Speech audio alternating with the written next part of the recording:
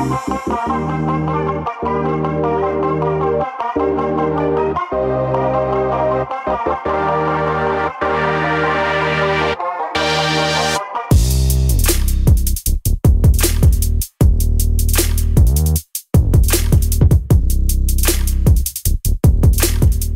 об Башир Рамееве, задает один тот же вопрос, жил ли он в Казани.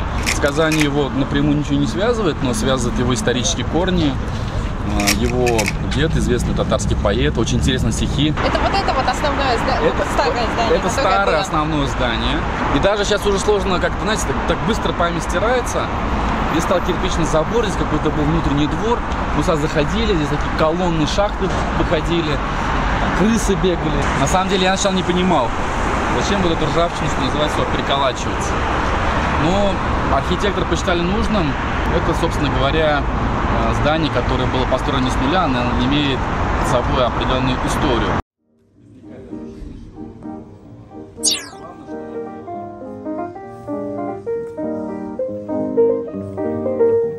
Долго с историками работали.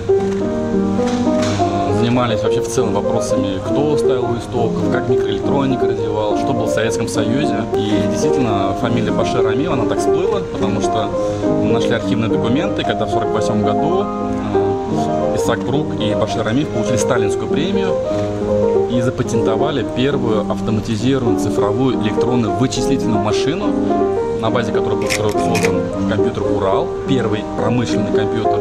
Хотите с кем-то провести встречу? Все свободно, все открыто, welcome. Если вы просто горожанин, вы можете просто насквозь пройти и перейти на улицу Спартаковскую. То есть первый этаж, он работает для всех. Приложение. А, В чем его задача? Первое, да? Вы можете заказать постоянный пропуск, можете заказать разовый пропуск. Когда у вас есть пропуск, у вас приложение может быть не включено. Вы проходите. Карточку, которую обычно люди забывают. Здесь есть камера для того, чтобы сканировать QR-код. Этот проект, он тоже единственный в России. Это производитель из Татарстана, информатика. Наш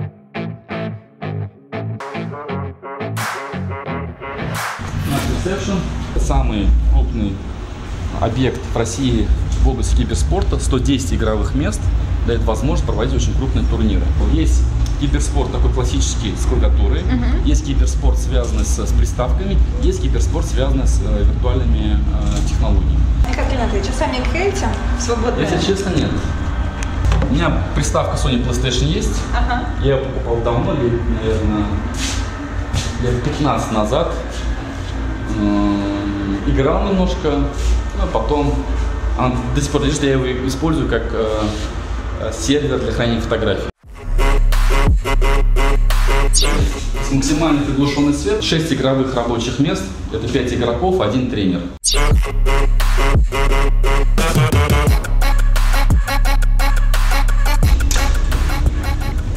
И Бердыев, Юлединов, все игроки. И, в общем, э, идет разбор как бы стратегии, уже связано с некой теорией. Аудитория киберспорта из года в год растет в киберспорте. Действительно, спортсмены тренируются ловкость, мышление, интеллект, потому что в шахматах вы тоже там не двигаетесь. Вы должны э, определенным образом м, когнитивно быть успешно развит. Но шахматист, чтобы хорошо играл, он 10, 8-10 часов в неделю тренируется физическим видом спорта.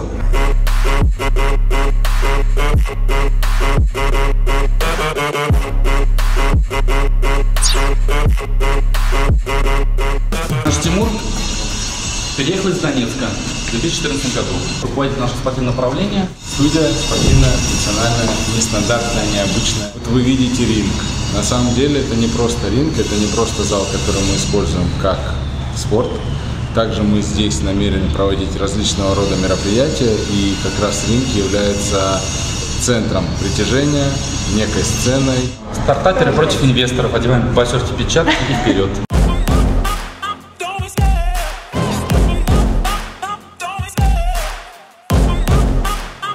Побегал вокруг кабана. Может ли работать вообще в Урбане или, допустим, на Петербургской 52. В обед пришел, помылся и пошел обратно дальше, называется, на работу. То есть спортзал тоже, он э, будет работать на всю инфраструктуру для всех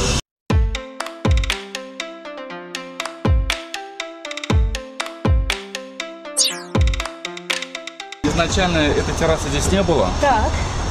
Она появилась за месяц до окончания стройки. Мы поняли, что не используя для пространства, из особой системы, у нас абсолютно ровный пол, угу. осадки уходят через эти щели вниз. Там снизу специальный корыто, Ага. под определенным углом вода собирается, водосбором, ну, большая площадь, да, Да. и под востоком уводится уже в ливневую канализацию. Отдельный вход, никому не мешает, на седьмой этаж поднялись, и там э, тоже специальная защита, и оттуда прекрасные виды на Казань.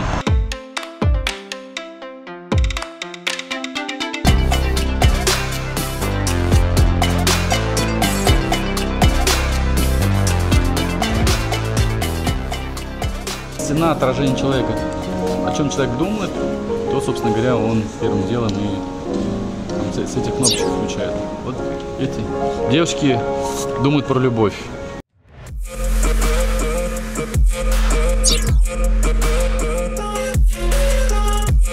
Мы очень долго думали, как его правильно спроектировать. Президент нас правильно поправил. Он сказал, ребята, если вы делаете большой проект, делайте так, чтобы это было на года, на века.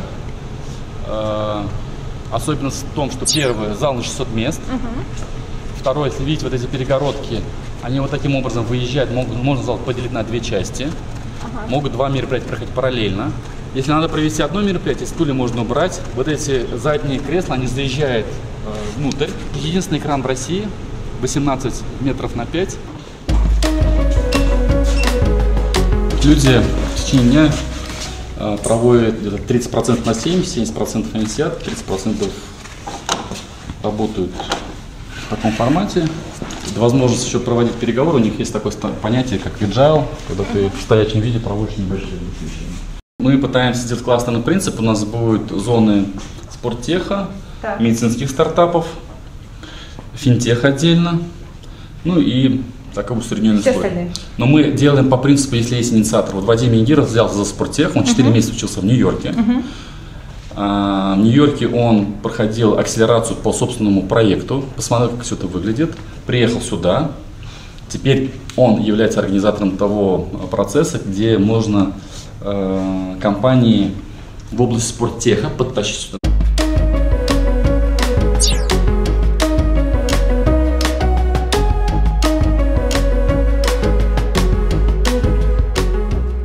Любой человек, вот абсолютно любой человек, журналист, блогер, музыкант, архитектор, да в целом просто человек, который делать если ему нечего, хочет прийти куда-то и провести время, может возможность заказать себе разовый пропуск, месячный пропуск и работать, проводить время здесь. Ух ты! То есть человек работает именно вот так- в таком формате. Сразу отдыхает спина. Разумный человек приспосабливается к миру. Неразумный упорно пытается приспособить мир к себе. Поэтому прогресс зависит от неразумных людей.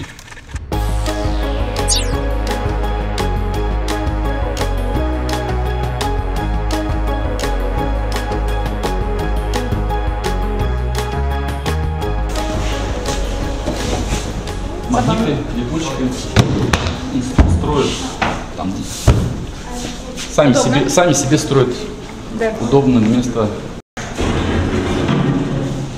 Промышленная робототехника. У этого робота есть возможность распознавать речь, цвета. А, За этим будущее определенное. И вот уже видно, что эти заготовки сделаны.